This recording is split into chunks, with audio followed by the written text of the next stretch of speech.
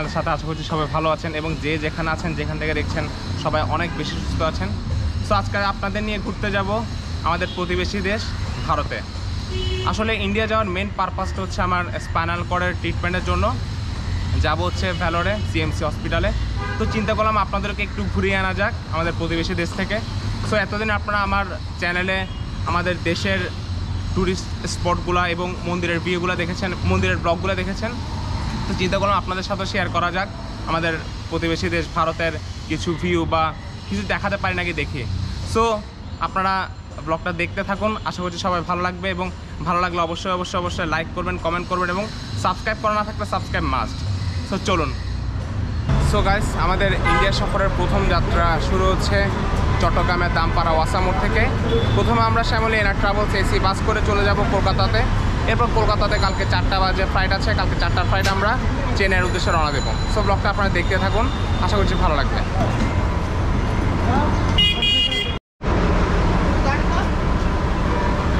So আমাদের ticket আমার আর বাবার ticket D three D four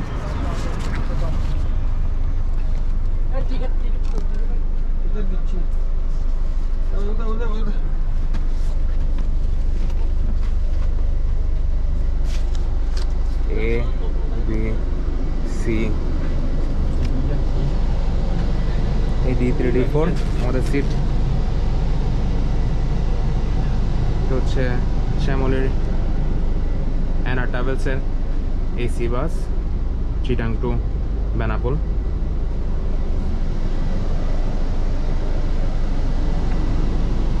এই দুটো হচ্ছে আমাদের সিট সো গাইস এখন আমরা বাসের সিটে বসে পড়েছি। আর আজকে আমার সফরের সঙ্গী হচ্ছে আমার বাবা ডাক্তার আশিস চৌধুরী। সো আপনার সাথে মিট করা দিচ্ছে। সো পথে আপনাদের দেখাচ্ছি সিনারিওগুলো বা ভিউগুলো সো দেখতে থাকুন আমাদের সাথে।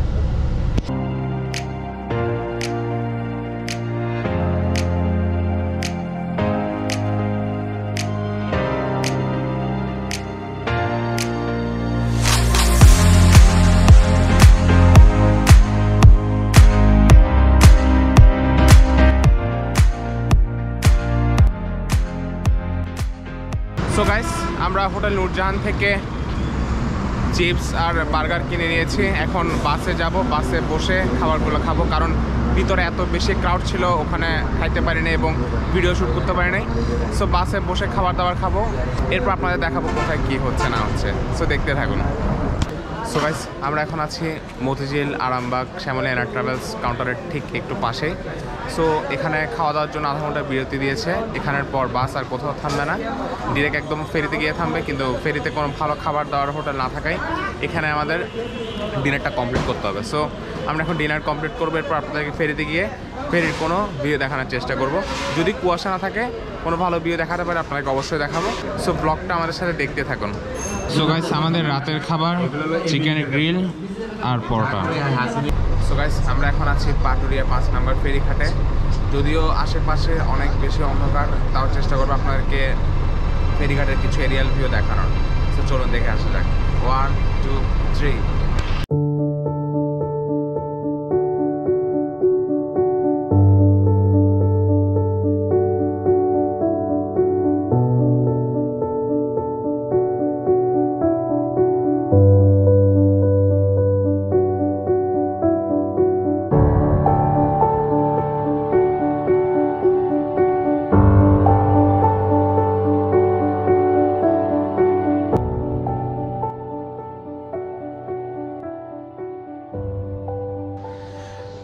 guys good morning এখন আমি আছি বেনাপোল বর্ডারের ঠিক সামনেই।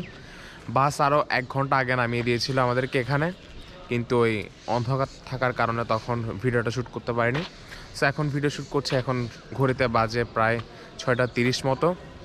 আশেপাশে আপনারা দেখতেছেন হয়তো অনেক বেশি কুয়াশা, অনেক বেশি ঠান্ডা। এখনও ইমিগ্রেশনের কাজ শুরু হয়নি, নয়টার দিকে হয়তো বা বর্ডার খুলবে বা ইমিগ্রেশনের কাজ শুরু হবে। সো এখন আপনাদেরকে কিছু বেনাপোল বর্ডারের ভিউ দেখাবো বা সিনেমাটিক শট দেখাবো। এরপর নাস্তা করব, এরপর আস্তে আস্তে বাকি প্রসিডিওরগুলো আপনাকে দেখাতে থাকব। সো দেখতে থাকুন আমাদের সাথে।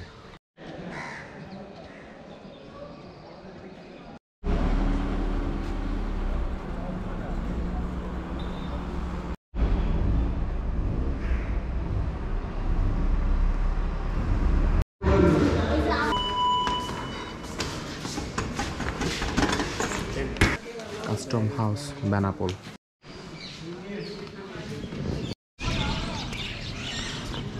so guys Bangladesh এবং ইন্ডিয়ার দুইটার ইমিগ্রেশন এবং কাস্টমস কমপ্লিট করে আমরা এখন নেক্সট স্টেপে দিকে যাচ্ছি। আসলে তেমন কোনো প্যারা নাই। আপনাদেরকে কিছু ফর্ম দিবে?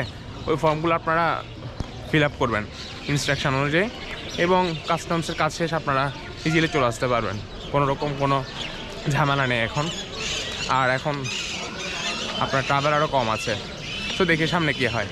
গাইস আমাদের ইন্ডিয়ান এবং বাংলাদেশের সবগুলো ইমিগ্রেশন এবং কাস্টমস কমপ্লিট এখন আমরা ইন্ডিয়ার বর্ডারে চলে এসেছি এবং এখন আমরা আছি ইন্ডিয়ার সীমান্তেই এবং এখান থেকে সিম নিচ্ছে এখানে আছে।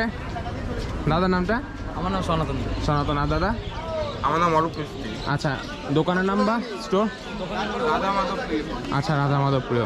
তো আপনারা যারা বাংলাদেশ থেকে ইন্ডিয়াতে আসবেন তারা সিম কিনলে অবশ্যই দাদার দোকান থেকে কিনবেন। হাইলি রেকমেন্ডেড দাদাদের বিহেভিয়ার এবং সব কিছুই একদম টপ কোয়ালিটির সো এখন সিমটা নেব, এরপরে ইন্ডিয়ান শ্যামলি বাসে করে যাব এয়ারপোর্টের দিকে যাব, এরপর আপনাদের চেন্নাই যাওয়ার ভিডিওগুলো দেখাতে থাকব। সো দেখতে থাকুন আমাদের সাথে সো গাইস আপনার সাথে দেখা হচ্ছে প্রায় পাক্কা দু ঘণ্টা পরে এখন আমি আছি পশ্চিমবঙ্গের শ্যামলী পরিবহন বাসে আর বাসটি রওনা দিয়েছে কলকাতার উদ্দেশ্যে আমরা আসলে কলকাতা পর্যন্ত যাব না আমরা কলকাতার আগে নিউ মার্কেটের আগে এয়ারপোর্টে নেমে যাব কারণ আমাদের সাড়ে চারটা বাজে চেন্নাইয়ের ফ্লাইট আছে সো চিন্তা করলাম আপনাদেরকে কিছু পশ্চিমবঙ্গ শহরের ভিউ দেখাই তো চলুন দেখে আসা যাক one two three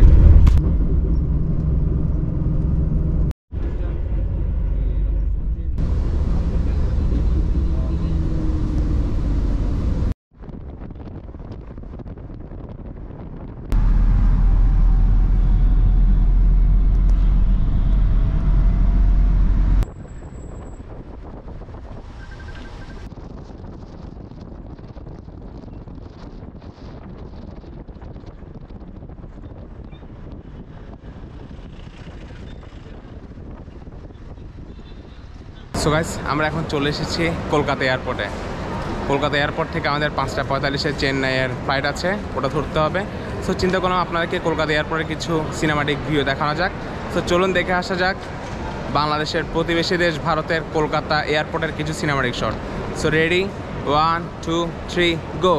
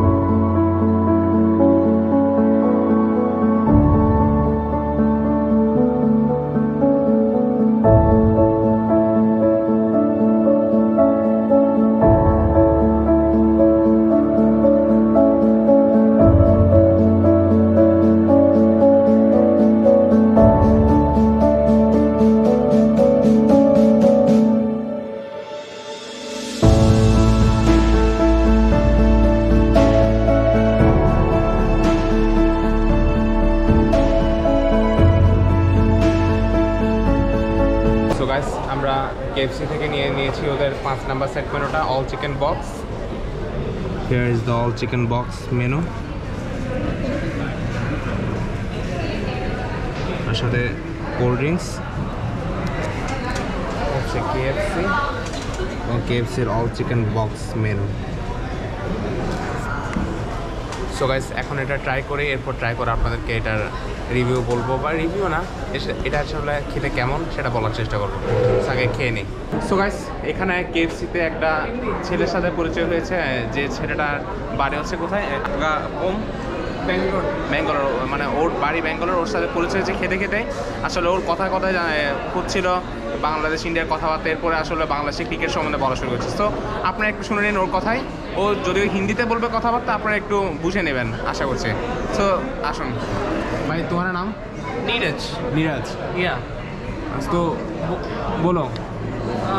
If if see the after independence of Bangladesh the industrial sector of Bangladesh has been boom like काफ़ी अच्छे से हुआ और वहाँ का गारमेंट्स ये सब क्वालिटी भी काफ़ी अच्छी होती है। और uh, काफ़ी अच्छा और specially I like the cricket of Bangladesh because Shakib is outstanding as always और तमीम का ओपनिंग बैट बैटिंग मुझे काफ़ी पसंद है और ये सब इसके बारे में कुछ? इसके Mustafiz. Yeah yeah I know swing left hand swing bowler yeah yeah उसने तो आया था तो आईपीएल आईपीएल किया। जब उसने डेब्यू किया था तो हमारा हाँ, इंडिया की हारे उड़ा दिया आई एग्री आई एग्री वो अच्छा अच्छा. Uh, even who was the captain Mastrafi bin Murtaza. Murtaza, yeah.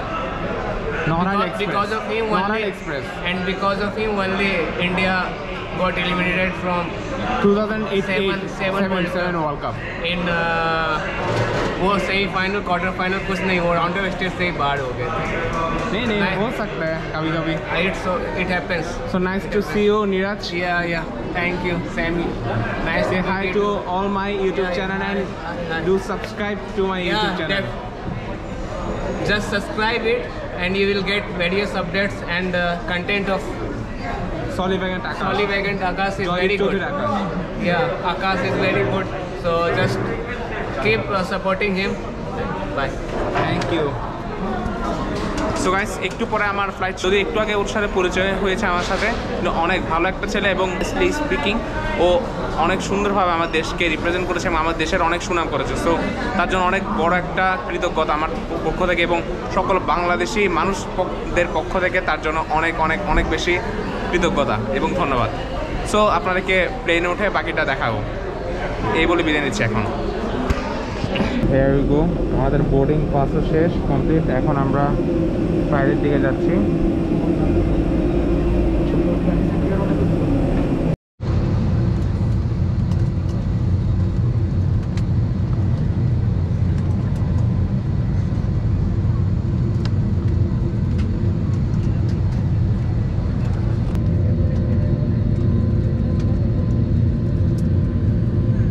So guys প্লেনে উঠে গিয়েছি এবং সিটও পেয়ে গিয়েছি। আমার সিট পড়েছে একদম উইন্ডো সাইড দেখেন। সো মানুষের ক্রাউডটা একটু কমলে সবাই সিটে বসে পড়লে আপনাদেরকে আশা করছি বাইরে কেউ ভিউ দেখাতে পারব যদি বিকেল দিকে হলে বা সকালের দিকে বা দুপুরের দিকে হলে ভালো ভিউ দেখাতে পারতাম আপনাদেরকে জানলা থেকে। যদি এখন অলমোস্ট সন্ধ্যা, কারণ এখানে ইন্ডিয়ান টাইমে ছয়টা বাজতে চলেছে এখন, পাঁচটা পঁয়তাল্লিশ আমাদের ডিপার্চার টাইম সো দেখি আপনাদেরকে কী দেখাতে পারি। যদিও অন্ধকার আছে, তাও চেষ্টা করব আপনাদেরকে যতটা ভালো সম্ভব ভিউ দেখানোর জন্য।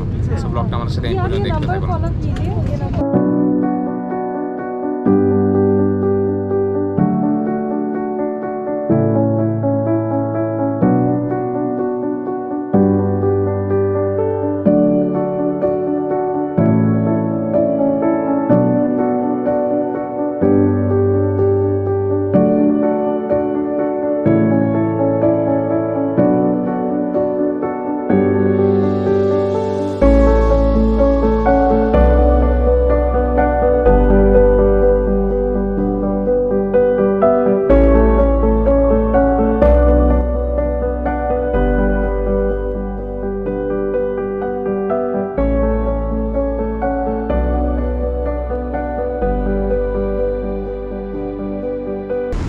তো গাছ চেন্নাই এয়ারপোর্টে নেমে আমরা এখন বেলফোর্ট থেকে আমাদের ব্যাগ অ্যান্ড ব্যাগেজগুলো কালেক্ট করতে যাচ্ছি। সামনে দেখা আছে ব্যাগেজ ক্লেম এইদিকে।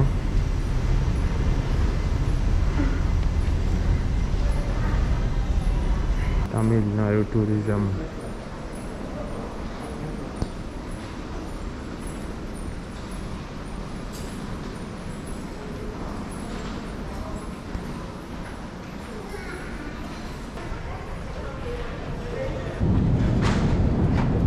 আপনারা যারা চেক ইনে ব্যাগগুলো দিবেন, তাদের ব্যাগগুলো এই থেকে এই রাস্তা দিয়ে এসে পুরো সার্কেল জুড়ে বেল্টের মতো ঘুরে বেড়াবে। আপনারা আপনাদের সবাই দেখুন। সবাই দাঁড়িয়েছেন নিজেদের ব্যাগগুলো কালেক্ট করার জন্য। আপনারা এখান থেকে আপনাদের ব্যাগগুলো কালেক্ট করে ফেলতে পারবেন।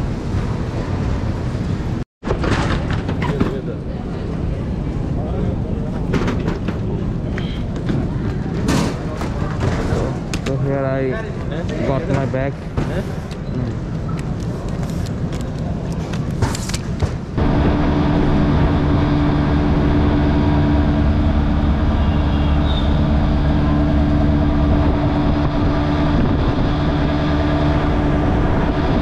সো গাইস আমরা এয়ারপোর্ট থেকে একটা ট্যাক্সি ভাড়া করে চলে এসেছি তাম্বারাম নিউ বাস স্ট্যান্ডে এখান থেকে আসলে আপনারা ফেরোডের বাস পেয়ে যাবেন টোয়েন্টি ফোর আওয়ার্স ওপেন থাকে, এরা বলছে, কিন্তু আমি জানি না সঠিক, কিন্তু আমরা এখন নটা সাড়ে নটা বাজে এসেও কিন্তু বাস পেয়েছি। সো আপনারা এয়ারপোর্ট থেকে ট্যাক্সি নিয়ে তাম্বারাম বাস স্ট্যান্ডে চলে আসতে পারবেন, যারা ভেলোর সিএমসি হসপিটালে যেতে চাচ্ছেন। আবার ওখান থেকে ব্যাক করার সময়ও বেরোর বাস স্ট্যান্ড থেকে তাম্বারাম বাস স্ট্যান্ডগুলো আপনাদেরকে এখানে নামিয়ে দেবে। সো এটা হচ্ছে প্রসেস আর এইগুলো হচ্ছে বাস এই বাসগুলো যাবে আসলে বেরোরের উদ্দেশ্যে। সো বেরোরে যেতে যেতে আপনাদের দেখাতে থাকব এবং ইনফরমেশনগুলো দিতে থাকব।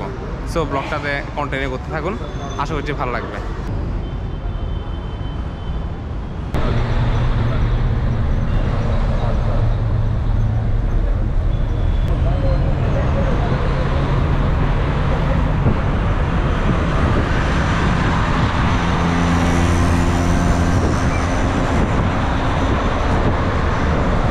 গাইস আমরা ভেলোর পুরান স্ট্যান্ডের এখানে একটা হোটেল নিয়েছি।